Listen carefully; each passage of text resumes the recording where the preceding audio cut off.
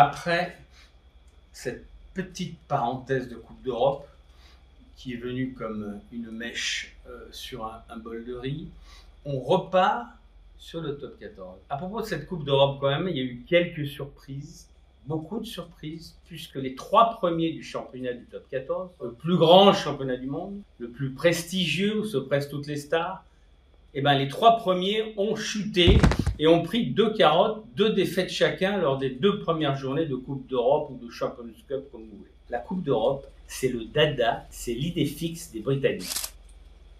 La Coupe Celtique, ils en ont rien à cirer. Le championnat écossais, c'est le Challenge Pam Pam. Et le championnat de chip anglais, c'est la Coupe Mickey, qui sert à se préparer pour la Coupe d'Europe. On en revient au top 14. Trois clubs doivent se refaire la cerise. Le Stade français, Toulon et le Racing. Et à propos du Racing, dont l'objectif, un des objectifs numéro un était, ou est encore, parce qu'on peut encore se qualifier, peuvent encore se qualifier la Coupe d'Europe, j'ai envie de dire plusieurs choses. La première, c'est qu'il faut retrouver quand même un peu plus de puissance devant. Il faudrait quand même un peu de tapioca dans la soupe, à savoir une seconde ligne de 125 bars. Deuxièmement, il faudrait peut-être dire à, Rundell le doublé, championnat et Coupe d'Europe, c'est peut-être un rêve. Le doublé, oui, deux essais dans un match, oui, mais de le doubler, voilà, un peu plus d'humilité. Humilité. Donc, pour terminer sur le Racing, qui est mon club quand même, qui restera mon club. Responsabiliser, c'est bien. La méthode Lancaster, c'est bien. La passation de pouvoir, Jackie Lorenzetti au-dessus de la mêlée, Laurent Travers paysan, c'est bien. Les écrans dans les tribunes, c'est bien. La myriade d'adjoints, d'entraîneurs, c'est bien.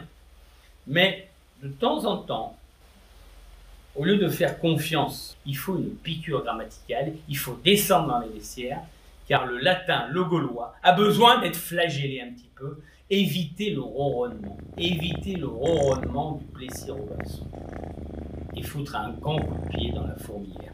Le stade français, c'est pas important à la Coupe d'Europe, il s'en Toulon, ça fait 5 ans qu'ils ne sont pas qualifiés en top 14, je pense qu'ils vont lâcher. Mais le Racing ne lâchera pas la Coupe le Racing va se refaire contre Yonex.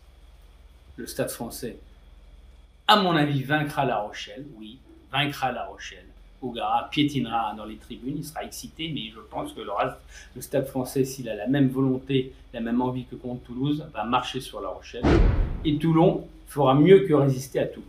Toulouse, qui entre parenthèses, arrive toujours à l'heure comme le Capitole en Coupe d'Europe. Pour revenir un peu sur la Coupe d'Europe, personnellement, J'en ai marre qu'on serve la soupe et qu'on fasse le lit aux Sud-Africains. Qu'on les aide à élever leur niveau à l'arrivée, ils sont champions du monde.